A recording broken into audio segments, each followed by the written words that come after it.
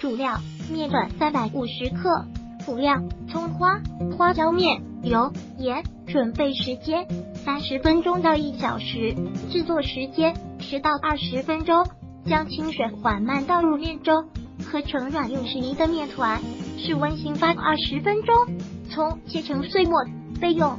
将醒发好的面团再次揉至光滑，分成小剂。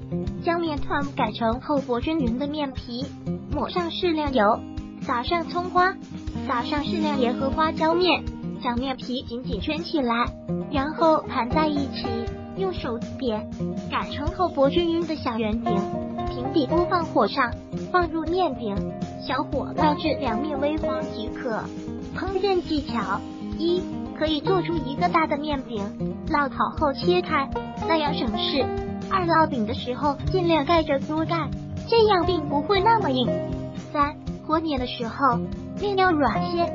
如果喜欢本视频，请分享并订阅本频道。